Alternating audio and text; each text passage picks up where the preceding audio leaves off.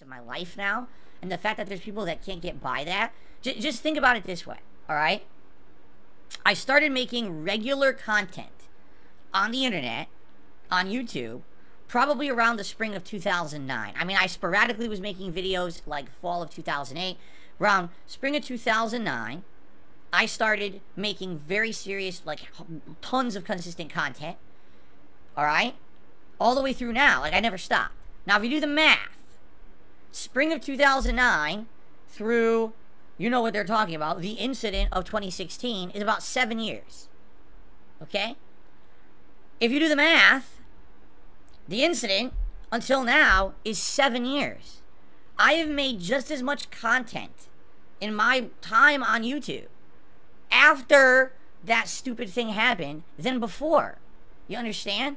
I've been, I've grown, I've changed, I've made way more positive content and become a better person from who I was back then. I have completely moved past that part of my life. Why in the fuck would I want to keep reminding myself of how messed up and depressed and sad I was at that point in my life and how awful it was? Things are so much better now. Why would I want to think about it constantly?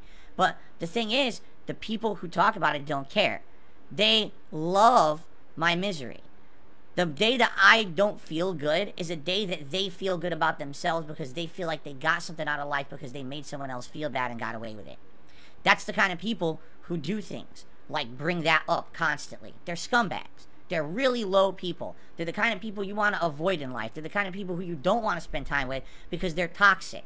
All right? That's the kind of people you want to st- fuck you. I'm going to build up a positive life over here and stay away from this toxic individual who literally only focuses on people's failures. Okay? I, I'm done with that. So, that's what I mean. Like, I'm just going to stay away from it. Yes. Do I own it? Of course I do. Did it happen? Of course it did. It was seven fucking years ago. I made more content after the fact than before. So how are you going to say to me that this is something representative of who I am today and something I need to even bring up or care? I don't care. I, you know, I don't. I'm done with it. And all it is, it's very simple. It's bullying. When people do it, they feel better about themselves because there's something wrong with them. People who do this kind of online bullying actually have something wrong up here. Maybe they actually hate themselves in their own personal lives. Maybe they're jealous of something, you know? Who knows? Know not to do that and pass that along, right? But Rich is not that way. Rich, he just passes that toxicity along and continues that history of, of, of bad treatment of people. He just doesn't care. okay. So we're done. I'm not to talk to these dumb, dumb lackeys or anything either. These fucking idiots come in here with do dollar tips. I'm just to tell you to go fuck yourself like you deserve and get out of here and we'll move on. Okay? Alright. So, that's that. We're good with shout outs for now. Now we can get back to normal. See, I got it off my chest, right? We're done. And, uh, now we can move on positively, correct? Thank you. That's it for that. I don't want. I hope they're better, by the way, because I don't know. And I felt real bad because I know that we had some bad blood. And I personally reached out to the guy behind the scenes and I said, you know, no bad blood is worth the stress of having a family member who's really ill. I've been there. And I wanted you to know that I hope that your daughter feels better. And I kind of want to squash whatever we have. You know, in fact, would you like to have a conversation? Would you like to maybe come on my show and just talk? Have a candid conversation, just being real with each other and just being nice to each other rather than being at each other's throats and making fun of each other. And he basically said he would be interested in that. But he couldn't make it that day and we were going to try to set it up. Okay? So, that's that was a conversation I had with the man. And then literally, I'm not shitting you, within 24 hours of that conversation, he went on Twitter and he fucking shat all over me and insulted me publicly. So what the fuck kind of person is that? Why the fuck would I waste my time with that guy? He's a scumbag. He literally took my goodwill. I want to be nice to you uh, because I feel bad because you're having a bad time in your life. I sympathize, empathize. I've been there. I just want us to not have beef. I don't want to have beef with anyone. Let's just be fucking cool with each other. And then he literally took that, said thanks, and he slammed it down on the ground and he stomped it into paste and he laughed at it and he went and made fucking nasty tweets about me. So Rich can go fuck himself. I want nothing to do with the guy ever again.